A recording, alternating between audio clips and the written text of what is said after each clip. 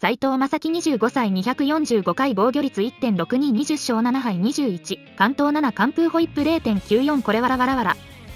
マジ吉だろこれ普通に無双してたな地味だったけど今の巨人に欲しいよな。よくぶっ壊れなかったよな。言うて32、3くらいから一気に落ちた。Y は9596のが好きや無敵感あったいつの間にか斎藤が消えていつの間にか上原がエースなってた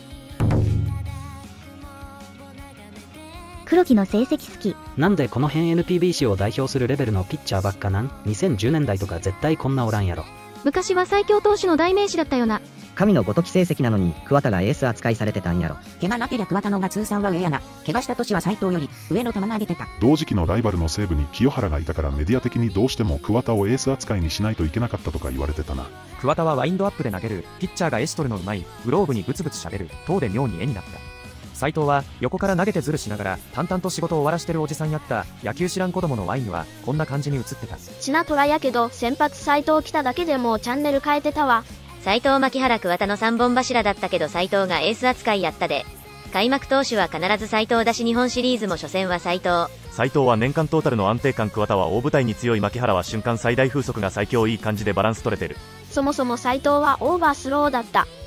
入団しても泣かず飛ばずでサイドに変えたら化けた。バッティングも良かった。阪神ファンは斎藤先発の日は巨人戦を見ない名采配。ご視聴ありがとうございました。チャンネル登録よろしくお願いします